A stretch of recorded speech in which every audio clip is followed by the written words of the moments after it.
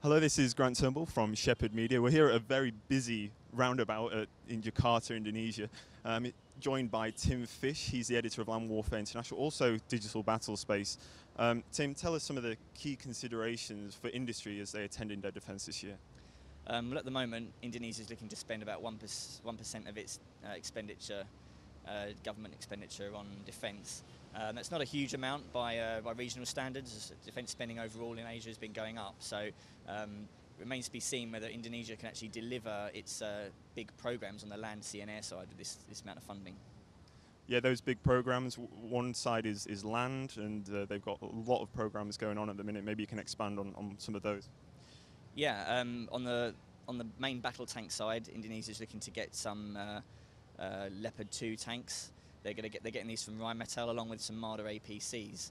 Um, if this program goes through, it will make the Indonesian land forces what some of the most modern in the whole of Asia. Um, but they're also looking to get some uh, wheeled vehicles. There's a six x six Badak vehicle that they're looking to get. They're spending 36 million to buy uh, about 50 of these, and there are rumours that there may be some more of those uh, coming. So it'll be interesting to see at the show uh, where that's heading. Yeah, so as, as with most countries in the Asia Pacific region, the naval side's also very important.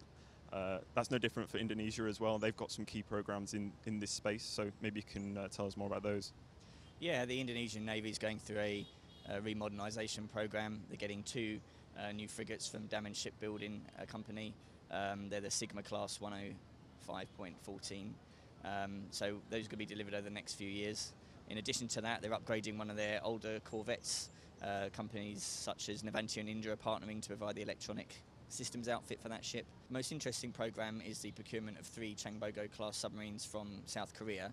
Um, they bought it, they're buying them for 1.1 billion dollars, and the first two are going to be built in South Korea, and the third one's going to be built here by uh, PT PAL, the shipbuilding, the local shipbuilding company.